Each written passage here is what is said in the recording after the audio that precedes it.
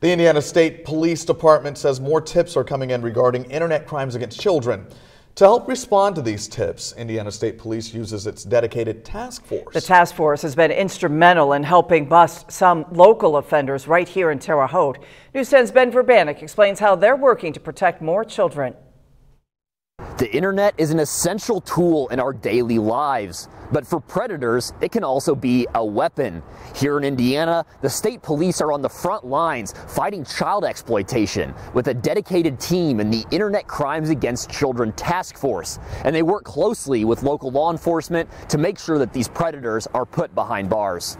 According to the task force's website, the rate of tips surrounding online exploitation have nearly quadrupled in the past four years. Sergeant Kevin Getz is an ISP veteran who spent years working on the task force. He says the digital age has made it all too easy for predators to commit crimes online. What the internet has allowed people to do is it's made the world smaller.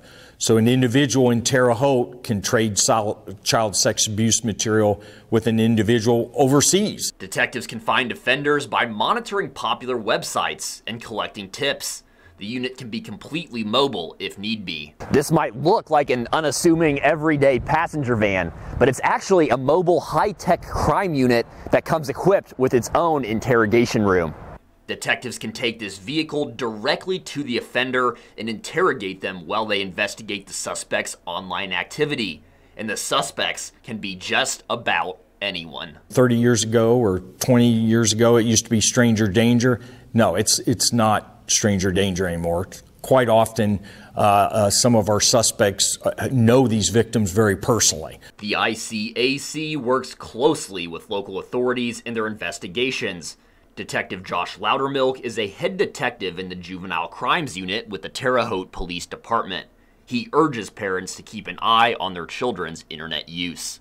Our kids should not have unvetted access to the internet and to social media sites, gaming sites, even Roblox and, and things like that that there are as many predators on there as there are, you know, some of your average websites.